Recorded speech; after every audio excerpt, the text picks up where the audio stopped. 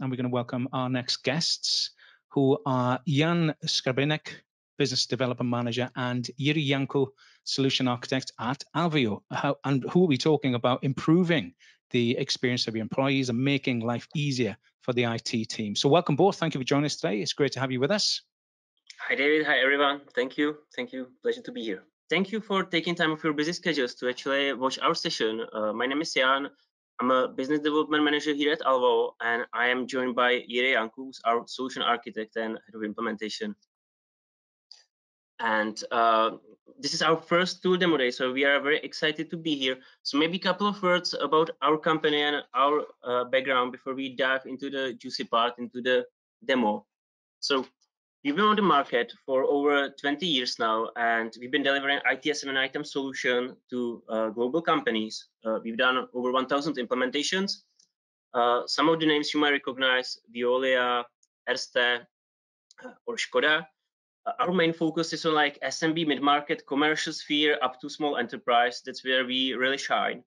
And uh, since the early days, we've been very much focused around Microsoft. So we really designed a solution for Microsoft infrastructure, and that translates into having a Microsoft look and feel that is familiar for employees, integrating into Outlook, Teams, Power BI, Intune, you name it.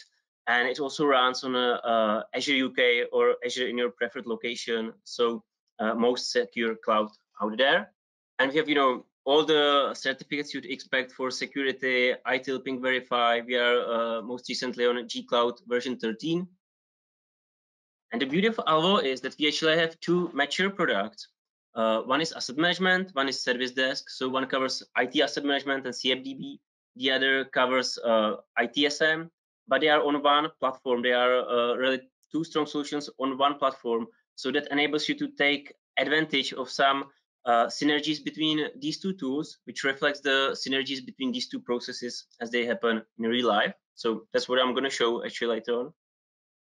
And before we uh, just go to the tool part, I just want to kind of give you an idea what are the conversations we are having with our customers. So one of the things I, uh, and these are by the way from my uh, calls. So what I get to hear is, uh, for instance, we don't want our employees to learn a portal. Every hates interacting with service desk. It needs to be an easy process which is a bit strong. I appreciate. Uh, the ITSM workflows are the same no matter the tool. Our employees don't care about ITSM. They just want to have issues fixed on a first call. And the last quote for you, we just moved fully to Microsoft 365. We want something that aligns with that. So our experience is that uh, there really needs to be that maturity for the IT team. Uh, there uh, needs to be, you know, all your workflows, prioritization, everything that makes life easier for you. But at the same time, these days your employees are used for top-notch experience from you know Netflix, Spotify, Microsoft 365, and your uh, ITSM stack should actually reflect that. So uh, this is what we will show you. Uh, first thing, how ITSM and ITAM integrate uh, on one platform. A uh, couple of channels how your employees can raise a ticket and our integration uh, to Outlook and Teams, and then starters leavers workflow. So let's dive straight in.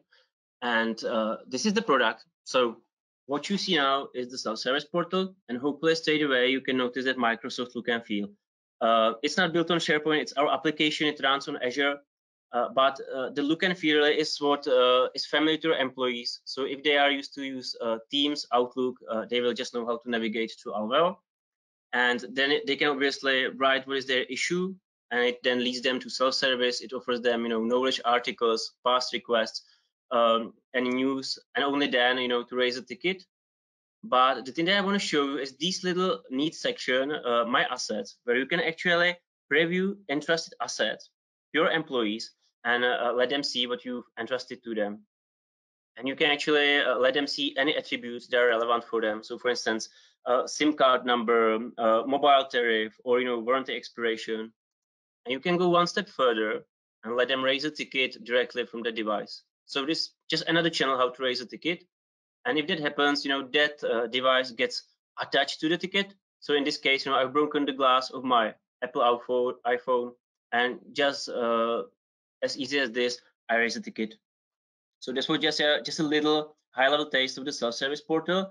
Uh, let's now switch to the agent view. So we can see that the, this is like working area of the agent. Uh, the subject of the ticket has been put together based on the form and the device and the user. And uh, I can now check what's the you know response time, uh, what's the workflow.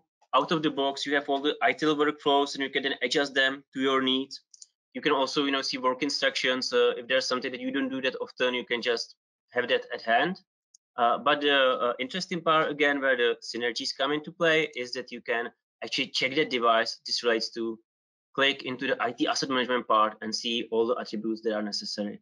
Um, uh, what this actually means, it means better user support because you don't have to ask them, uh, what's your service tag? Uh, what's your system? You know, uh, you can have it all uh, already at hand and you shouldn't ask your employees the things that you already know. Uh, so you can just check for yourself. You can track any attribute and you can also check uh, any other related incidents with this particular device. So I'm going to give you a couple of examples where this come in handy. First is, let's say your employee files a ticket. My battery is overheating. So you go ahead, you change the battery, and then in a month after that, another ticket. My battery is overheating. So you can just see, well, we've changed the battery. Perhaps you should dig a bit deeper. What's the root cause? And uh, you know, it gives you some kind of information from diagnosis, but also uh, this is the third time in the past month that they have been uh, complaining about their laptop. Maybe we just buy a new one and don't try to even repair. Uh, and then uh, another thing that's uh, quite important when you are doing the IT support is to know where everything is, who owns it. So you don't want to be asking your employees again, where do I find you? you just want to know. So that's actually where this part comes in play. So you can just check the full, what we call IT asset tree. And IT asset tree, that's this little part uh, on the left. Uh, it's modeled after Active Directory. So if you've been working with Active Directory, this will be very, very familiar. And uh, this is the part where you structure uh, your organization, uh, you know, based on geographies, offices, building. Um, if you, for instance, some like NHS, uh, like healthcare customers that are that are really appreciated that they can navigate through complex buildings and you know infrastructure. Uh, so you know uh, where it is, and you can just ask James, look, I know you are in uh, A05 office. Do I find you there today? Uh, so having that uh, view where everything is, who owns it, then uh, actually managing the full IT asset lifecycle. So, you know, from the stocking up to moving the device, you know, between owners to actually disposing of it, it's all done through that IT asset tree. And the way this comes in handy is like twofold. One, uh, it's just better for our human brains to work this way than to work through spreadsheet view, kind of having glorified spreadsheet in a web browser. Uh, and it also it also helps you with uh, data quality. So you can see in here, like the user for this phone is James, and it's A05 office, it's IT department, and that's all taken from the asset tree. So uh, what we can do when we actually uh, give this phone uh, to Veronica, all these attributes get tracked from the asset tree. You don't have to uh, track them manually. You don't have to really change anything. It's all in there. So you're going to take that phone, uh, give it back to James. And uh, another thing that you probably want to do if you are moving things around, actually entrusting assets to your employees is to print a handover protocol. So that can be done as well. And you can, uh, besides, you know, IT stuff, you can track any configuration items, uh, anything that's uh, relevant for your IT stack, but also anything beyond IT. So, you know, be it keys, uh, badges, and then you can actually uh, print the handover protocol, let it sign them uh, via web, via paper, whatever is preferable, hopefully the green way. and uh, this is really important, for instance, for starters leavers process again, because very often when employees leave the company, they just return back laptop and they uh, they go away with all other things. And uh, the last thing, uh, everything is tracked. So you have this uh, full audit trail uh, of each object, uh, including you know, change of the attributes, printing the handover protocol. You can always come back for audit purposes or for diagnosis and see what happened to that device.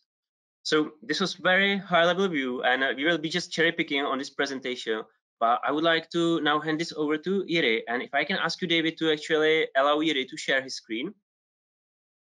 And Ire will show us the Outlook integration. So uh, if you can just show us, Ire, uh, how we integrate with Outlook and what are the benefits of that. Okay, so even though like instant messaging is being used in business environment more and more, uh, I think we are all flooded with emails still. So this thing doesn't change much. So our Outlook add-in is here to help you with that. And to be honest, we are using ALVAO internally. And for me personally, like my Outlook add-in is the like main uh, my channel to work with ALVAO actually, because I'm just working through my emails and doing the stuff I need with the tickets and just go on. Okay, so the main idea is what we are seeing. So on the right side, we will see always the detail of the ticket. So in this case, this is a notification. This is a notification from a uh, from service desk. So on the right side, you will see uh, specific ticket with all the audit trail and all the features or possibilities to do with the ticket based on your permissions. And in case someone writes you an email, sends you an email, and it's a user or vendor, so they don't use the ticket doesn't exist yet. Uh, you are we are showing you the relevant tickets based on the sender and based on your history. So you can just easily select specific ticket from there, save it there, update the ticket. Maybe the owner is someone else, and you will see directly the HTML formatting, like no information has been lost in the process. So this is one example what to do. And the second one is I, can actually easily create a new ticket uh, using the self-service or service catalog uh, with, where all the requests on incident types are. So I can just trigger specific workflow by selecting selecting the right uh, service. So the ticket is created and maybe someone else was notified right now. Okay, so that was the inbox, and we are able to do the same in the calendar view. So when you uh, select specific uh, event in your calendar, you see the full context here, and we are also able to you know create new event out of ticket on the right side. You are able to do this also from the web app applica web application, but you know the Outlook add-in is is like in Outlook client. So this is what we are showing you. Okay, so that's for enough for me. So back to Jan. Outlook add-in, like if you are tired of that switching between the apps, uh, that's one feature that comes in quite handy. But we are actually seeing more and more companies are uh, moving onto Teams as a main platform for communication. We have actually customers that are using Teams now more than Outlook. So uh, that means for us, absolutely, we need to integrate with Teams as well. So we allow you to share tickets via Teams, raise tickets from Teams, start conversation from Teams. But what's important, you want to also allow your employees to actually use Teams as a channel to raise a ticket. So, you know, just give them an option. If you need IT support, uh, use this button in Teams and go raise a ticket. This is actually an area that is quite uh, quite dynamic for us because we are uh, we are changing it a bit and developing it together with Microsoft to match the way how they design Teams. So there will be much more uh, features coming in the near future. But uh, the thing that's important is like it's becoming a prevalent channel and it's important to be able to communicate through teams while keeping that audit trail and keeping things simple for IT. So uh, there's been Teams integration. Uh, now, if you can tell us a bit about uh, starters workflows, work starters leavers workflow, and uh, how we help there. Yeah, I think we are all, all familiar with uh, starters leavers process. I think it's quite a complex process, but it shouldn't be difficult. So that's our idea. So, you know, a lot of people, teams, or even departments are in, involved in that. You know, new employee comes to the company and day day one, everything is ready and working, and you know, really can start to be a valuable part of your company. And this is actually like the first gateway to our service desk from different uh, departments in the sense like being agents. So thanks to the licensing model, but Jan will, will tell you more about it. So how this looks in our in our tool, like navigating through the self-service portal throughout the service catalog or being or even searching you you are selecting specific service with different workflows forms and triggering different uh, agent groups so you will select select all the necessary information or can be even loaded from hr system so so this is just a really easy, easy example. This is actually part of the demo database that is our like starting point for all our customers. and based on everything I have filled, master ticket is created and on the links tab, I will see all the all the child tickets that have been created assigned to different uh, groups and maybe even triggering automation automation somewhere when when possible, like creating the Active Directory account. So in our case, there could be like dozens of these tasks. So this is a really easy easy example, but you know you get the idea. So back to you, Jan. Uh, but I just want to see like what's the test about in that uh, ITSM toolset uh, landscape uh, are three things. First, we are very much Microsoft focused, Microsoft look and feel, Microsoft integrations. We have that uh, strong synergies between ITAM and uh, um, Service Desk because we actually started more than 20 years ago as an ITAM vendor. And uh, then the last thing that uh, wasn't mentioned is that we have a very convenient licensing model for uh, like ESM, enterprise-wide use. So for instance, for the starters leavers workflow, where some people just do a couple of tasks uh, per month, you license the whole company and then anyone can be an agent. So if you are moving service desk to other departments, you don't need to pay anything extra with ALVAO. So that really sums it up uh, for our. Thank you for your time and for your attention. Thank you both. That's great. Thank thanks, you. thanks a lot. Great, and and it's great to see you guys. I think we met in in SITS. I met the team in SITS, and um, Absolutely. Yeah. yeah, yeah, and and uh, let me just put myself on as well, actually. And and it was great to just to, to see the interest because a lot has changed, isn't it? As you as you guys have said, a lot has changed since COVID, and I think mm. that um, and we've spoken on this this um, this event as well previously about uh, you know places like Teams or um, Microsoft becoming a, a, a, platform of services that people go to first. So integrating stuff with that sort of makes sense, you know. Um, I, am really interested in again um, I'm interested in in in sort of the, the model that you're trying to create really you know the, the the focus with designing with microsoft for example and i know that i think they've they i think they've got their own platform. I think it's Provance. I think i think it's microsoft enabled platform i think. I'm not i'm not sure if it is or not. I can't. I, I don't think i don't think that's directly microsoft. I think that's uh, that's uh, another vendor actually. It's another i see i see i see.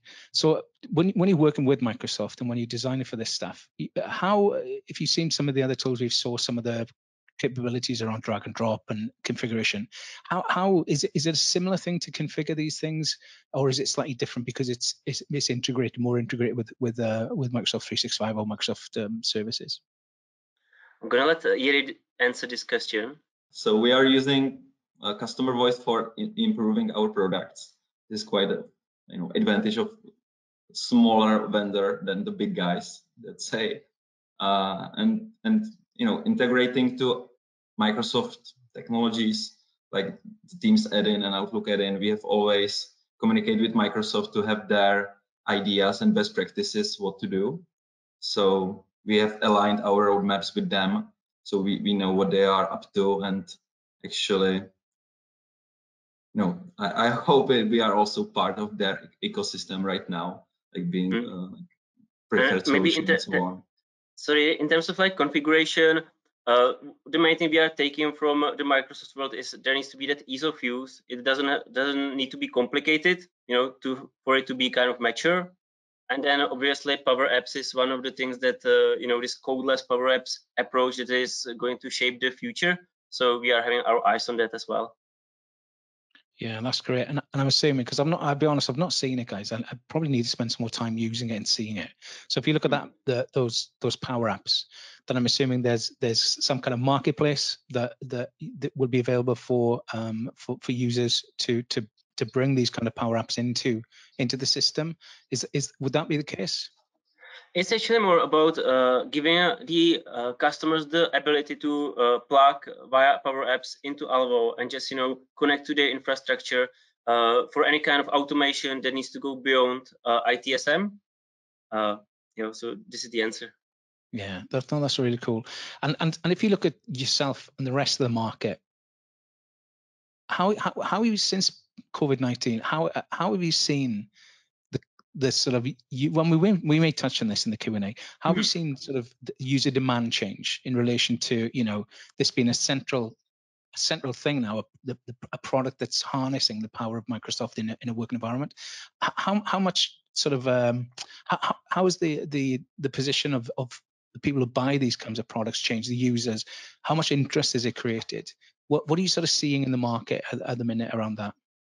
Well, the, the biggest thing, and like there's another trend coming up, which might be the recession. It's going to take, you know, play a part as well. But since the COVID, the biggest thing has been obviously the shift to the remote workforce, like remote workspace, and uh, that means that the employees they just need to have it really easy to contact the IT. You don't have that option to go and speak face to face. So, uh, kind of using the channels that they started using, I think like for Teams, the increase for just during the COVID was like tremendous so giving them the ability to use those channels that they adopted uh, through COVID, that's actually what was nice for us. it's it's it's really interesting because you know the market's the market things have changed a lot of stuff has changed not only with mm. with you know in this in this space but other spaces as well so it is it's it's really interesting i'm, I'm very keen to see um how, how, user habits change you know how how buyers how the market changes in relation to uh in relation to the next one of the things that's well. like I'm so sorry to catch you, uh, but okay. okay. one of the things that's uh, most interesting is the Teams take up. So really, we have uh, we are speaking with companies that are like 90% communication going through Teams, mm. which was like unimaginable in the past, and it's going to be shaped up further by like new generations coming into uh, workplace. So uh, that's definitely what we are keeping close eye on. Yeah, and, and it makes absolute sense. I think. Thank you, guys. Thank you. Okay, thank, thank you. you. Bye. Bye.